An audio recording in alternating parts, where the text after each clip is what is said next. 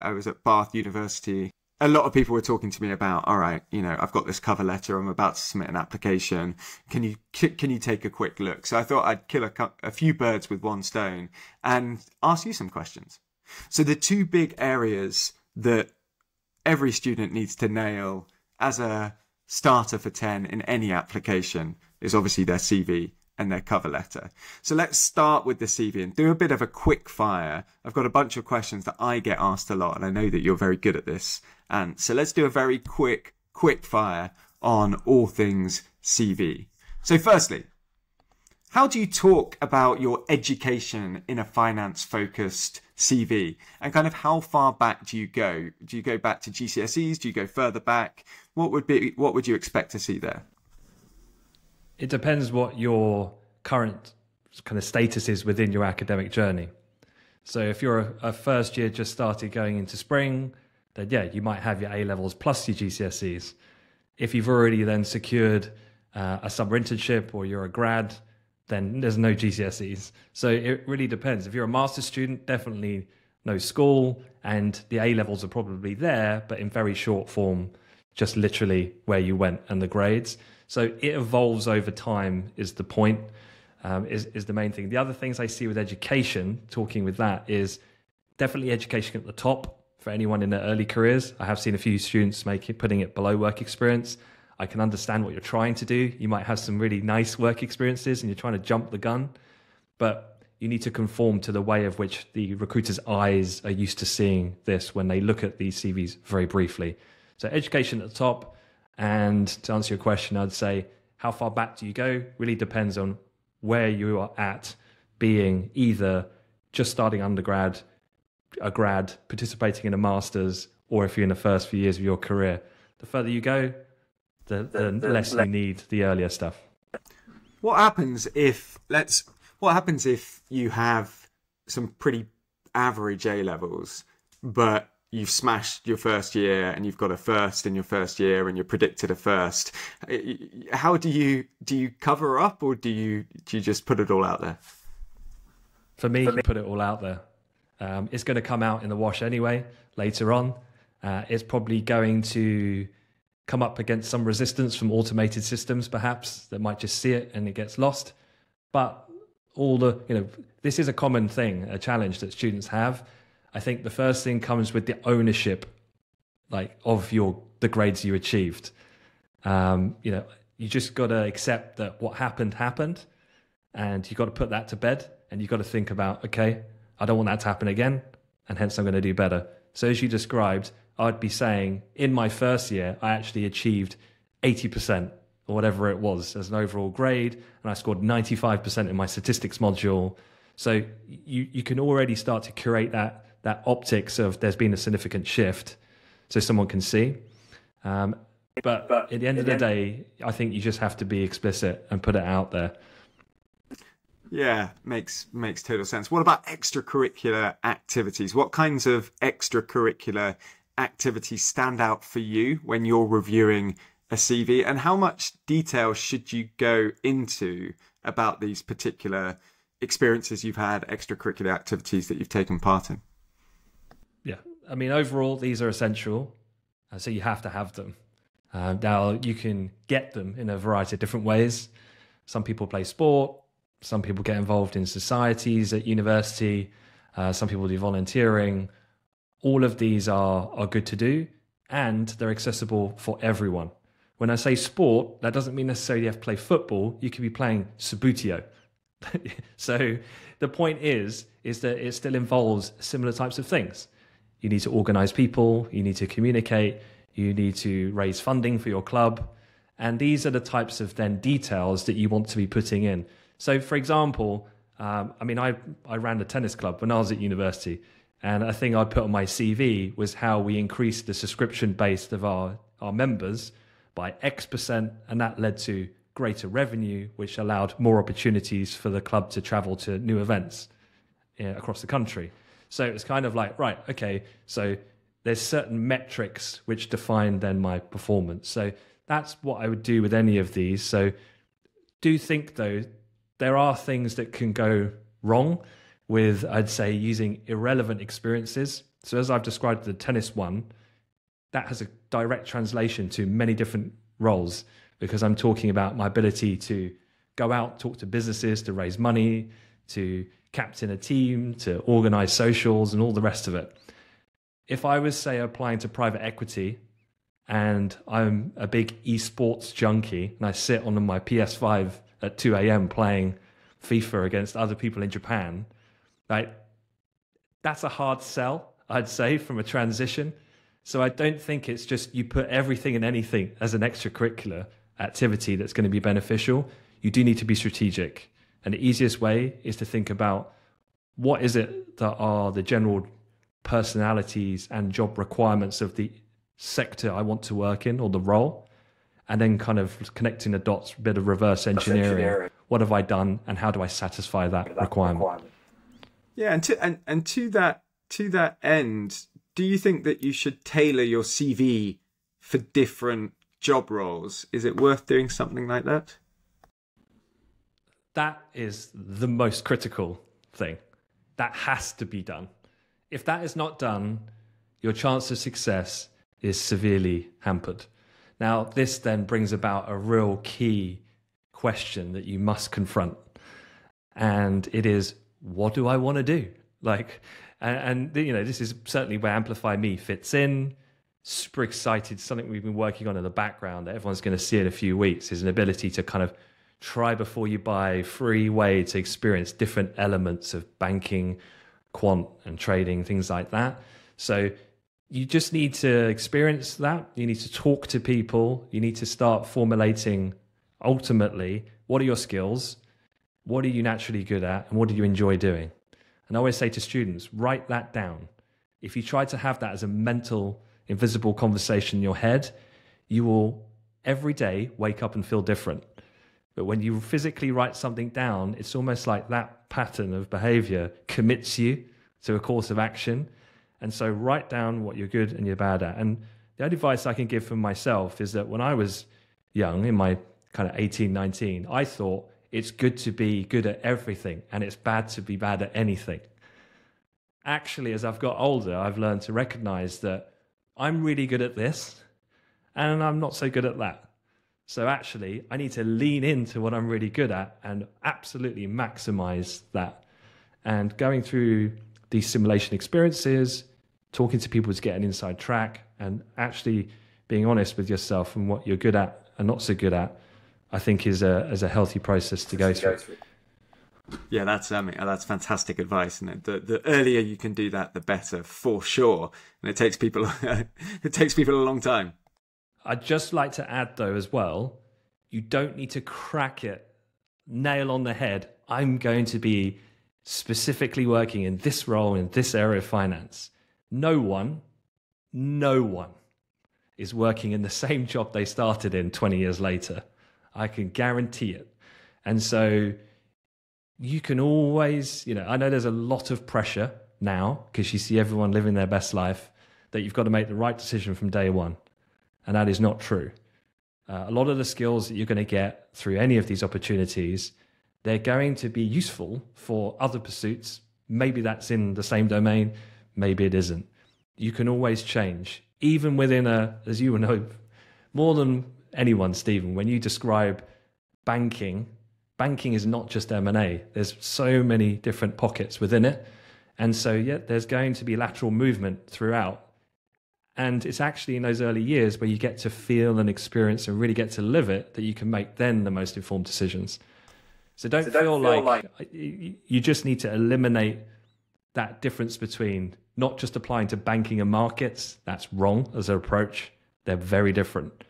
But if you say, I want to just focus on banking because I like numbers and I like modeling, I like valuation, I like strategy, all these sorts of things, then fine, that opens up a selection of roles for your, your, your CV to focus on. Yeah, that makes that makes total sense. And, and again, a lot of people ask me again. It, it's quite hard to build up good a good body of work experience as you're going into application season. And often your work experience is not necessarily perfectly aligned to the role that you're applying in. Maybe you've done a couple of days in wealth management, but you're trying to apply for a job in IBD. Do you put those experiences uh, of adjacent finance work experiences on? yes, you do. I mean, again, it does depend on the individual and their their general background. Um, you want what you're aiming for is a very consistent narrative that runs throughout your CV. I always say to students that if I come in cold and read your CV, I should be able to read it from top to bottom and then go, this person is ideal for this role.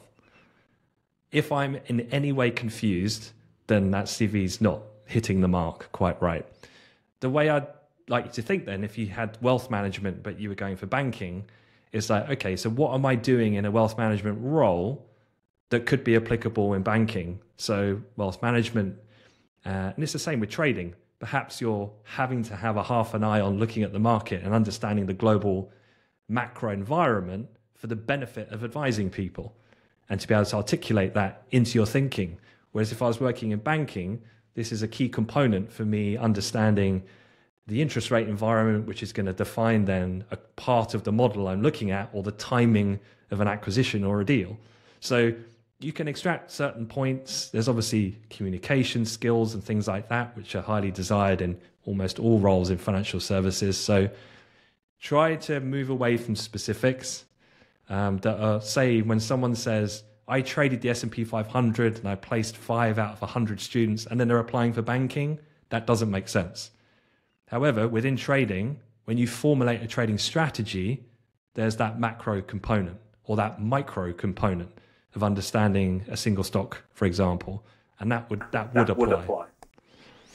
Yeah, I'd also add to that. Yeah, try and avoid being overly specific, but also try and avoid talking, and this may refer more to the cover letter, in total generalities. And something that I see quite often is people talking about their work experience as if they run the company. So I led a multi-stakeholder, high, you know, multi-million dollar project over the course of my two days of virtual work experience working for a man. No, you didn't. You, you got some really good experience, but you didn't do that. So don't, you know, don't try to over engineer what you've done because people will see right through it. My last question on CVs. Let's say I've got an internship or some work experience coming up should I put it in or do I just leave it out?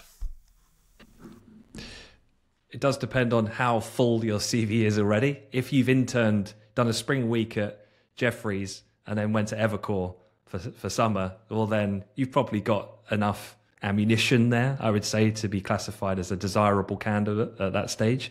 Um, if that's not the case, then I, I would put it there. Um, but I would be, again, very explicit and say incoming or I've been selected for, or some degree of qualification that has meant that there's been a selection process and you've earned that through merit to get there. Then I would say just, but I would only have one line describing what it is that you'll actually be doing. And then obviously the dates accordingly of when you'll be there. So yes, I would put it on. Nice. All right, quick fire on cover letter. There's so much more that we can talk about here, but let's, uh, well, actually, let's start with can you describe to me the perfect cover letter? You receive it, it comes through via email, and you're just smiling and you're nodding your head and going, this person has really nailed it. Cool. Does, does, does perfection exist? Uh, I'm not sure, but yeah, I, I get your point. Um, I think, well, nowadays, I, you, every hiring manager can tell if something's been ChatGPT'd uh, particularly when you see high volume and you see lots of similarities. So I think uh, the perfect cover letter is um, clear, concise, and demonstrates something that other people haven't mentioned. That then demonstrates in itself um, a real keen passion for the area or subject, um, or some sort of intelligence about the firm that isn't so publicly known that shows that you've acquired that somehow through networking, listening to podcasts, reading bank earnings reports. I mean, remember, we're this is going out on Monday. JP Morgan BlackRock earnings came out on Friday. So if I receive a cover letter on Monday, that's a good thing to drop in. And maybe there was something that you saw, a statistic, a comment from the CFO or something that just shows me you're paying attention, and you know our business. I always think if you strip it back, if you were the employer of a business and then you had a bunch of really talented students and you asked them, why do you want to come work for me? And they can't describe your business model and generally how it's composed and how are you performing, why on earth would you give that person a job? Uh, but I would say only a fraction of students can do that from my interactions. Yeah, to- well, I I totally agree. It's a really really hard thing to get right the cover letter, especially if you're trying to apply to a number of different firms and get it right for each and every firm. There's nothing worse than a very very generic. Okay, all right, what you've done is you've just control F and replace the name of the company. That that will never get you very very far. What about again maybe taking the flip side? what are some real no-nos in terms of cover letters things that are going to turn you off as a recruiter as a campus recruitment manager straight away well if i'm applying to goldman sachs it, it kind of helps if i don't put morgan stanley uh, or jp morgan uh, that's point one you'd be surprised by how often we hear that which is just incredible uh, but goes to show uh, the sort of approach that a lot of students take um, the other things are, uh, personally, I'm not so keen on culture. Like people always lean into cover letters too heavily into culture. Uh, and I remember one student was talking about how they wanted to join this US bank because they really felt that they could change the world and change people's lives. And I was like, okay, I kind of get that. So, in terms of, okay, so you are allowing people to access credit uh, and, and money, and that allows businesses to operate, and that allows job creation, and which allows wealth. And it's like, I'm not sure saying that the way it was phrased, I'm not sure that's what the pursuit of these banks completely is. I think as an offshoot, sure, they grease the mechanics of an economy. I get it. But also just taking like the four pillars of a corporate corporate promise I just don't like that. It to me strikes me as very lazy. Um, what I want to know is that side should be a given. I want to know what do you know about my business and my products because I want to be the best business in the market and I want to be a success and I want successful people with the same mindset. So I think that that's a bit of a bugbear that I have because it's the most common thing that people tend to, to, to, to do. Yeah, no, I, I definitely see that. Yeah, most banks have a relatively similar culture when you actually strip it back, and their outcomes that they want to achieve are all pretty uniform. So, uh, yeah, so if we can move beyond that, that would be great. One question I get asked quite a lot is, you know, you want to stand out in your cover letter, and, and standing out, you can be really, really good at the specifics of the role and know something unique about the business. But how and should you bring through your own personality or a kind of narrative of how you've got to this application or or a story about what has linked your past to where you're at today. You know can you bring through that personality whilst also remaining professional? I guess that that that's a really really hard thing to do. To me this is fundamentally what a cover letter is. This is your opportunity to tell your story telling a good story is incredibly powerful, incredibly difficult, particularly when you come from the world of academia, where everything is written in long form. The purpose of this document is it's concise and short form. So this is what you know. You said earlier, if you're applying to lots of places and you're doing lots of cover letters, where do you find the time? So there is a bit of a, a marriage between you know quality and quantity and being quite specific on how you approach these. Um, so so yeah, I think um, yeah, storytelling is key. Showing who is an opportunity to demonstrate your uniqueness, to go beyond just the stats and more like impact and skills based nature of a CV. And so yeah, this is what takes time. This is this where is... you can use ChatGPT. And it's not ChatGPT to solve your problem, to describe your story, but it's what I tend to do is write quite quickly in rough copy, and then I'll talk to ChatGPT and say like, okay, so how what are your suggestions to refining this? this is my purpose and this is what I'm trying to convey. It will spit out a response. It will write it in a language that's definitely not my own because it's far too articulate than the way I speak or write. And then I'll kind of dumb it down into ant level, uh, if you like. And then we'll go back and forth a little bit. So this is where you can use these these tools. You know, writing a cover letter. You know, ChatGPT has damaged it quite a lot. I would say in terms of now the relevance of that document. Um, but that doesn't mean you can't use it. It's just got to be used in the right way. Um, so yeah, I think um, definitely show some of your personality. You again, you're trying to ultimately demonstrate your passion, and that should come through in your language. Um, whereas the CV, I think, is much more formal, uh, so it's hard, to convey that.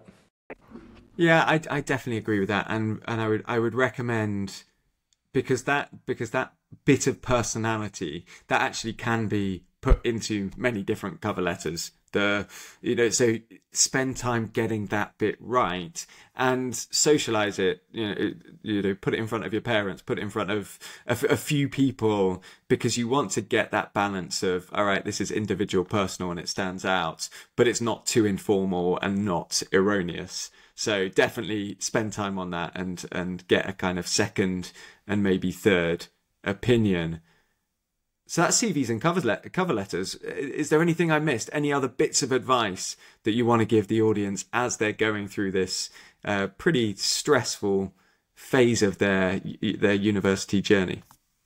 Yeah, yeah, I guess the one thing I would say is that I was doing a session earlier this week, and I said to them, "Right, we're going to do a, a live CV review session," and everyone's like, "Great!" And there's you know there's a decent enough size audience, and I was like, "Right, take your name off your CV." And what I'll do is you privately DM me, I'll bring it up on the screen and we'll, we'll critique it together. Now, in this exercise, what I tend to find is the only people who share their CV with me are the ones who have excellent CVs and the ones who have excellent backgrounds. They've, they go to the top uni, they've got the top grades. And so I guess what I want to say is that uh, for all the other people, which is actually the majority of people, who aren't at that gold standard just yet is that just don't be intimidated. Just because you might look at a peer and go, oh, but they've done this finance experience. All I've done is um, worked at Sainsbury's. Like, uh, there was one, the CV, where the guy was the rugby social secretary at Bath Uni, worked at Waitrose, and he'd done another service sector job. Whereas the other candidates I looked at had done all of the banking spring weeks, the internships. But I was like, okay, so look, his CV looked quite different. But it was almost like he was somewhat embarrassed when looked comparably with the others. But there was so much quality there that he could have talked about. I said to him, hang about, you're the social secretary for rugby at Bath University, surely that's the biggest club within your university, surely. And he was like, yeah, by far. And it's like, okay, so Bath's one of the top schools for rugby, right? With Loughborough, yes. Okay, so all you've put is your social secretary for Bath Rugby Club. Like, that makes no sense to me. You are so modest. These other people are so proud. It's like just, we just need to find that middle ground. So I think it's just about not being intimidated that if you have finance experience and you're applying to finance jobs, fantastic. If you don't, that's, that's still, still, more than usable, and you can still shape that absolutely into a strong um, CV and a strong application. You just need to think a bit more laterally about A, how can I repitch the experience and transferable skills? And then B, what can I be doing to actively pick up and acquire all the necessary skills that I don't have that I can access. Free courses, Coursera, AmplifyME simulations, doing charitable work, all the extracurricular stuff. Like all of that is within your control. It's a lot, of, work, of but that's what it takes.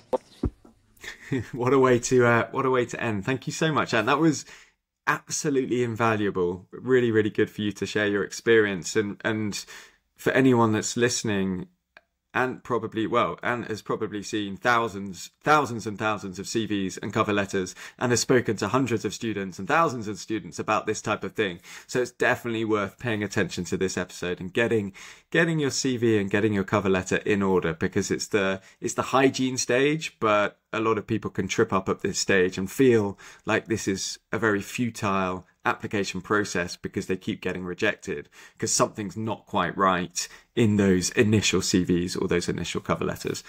Uh, so thank you so much, Ant. Yeah, feel, yeah, free, feel if, anyone if anyone has a question, question on, Spotify, on Spotify, I know you can leave a comment, comment and I'll, I'll happy, happy respond. respond. Nice one. Thank you so much, Ant, for your time. All right, take, care. Take Thanks, care. Thanks, Stephen. Stephen.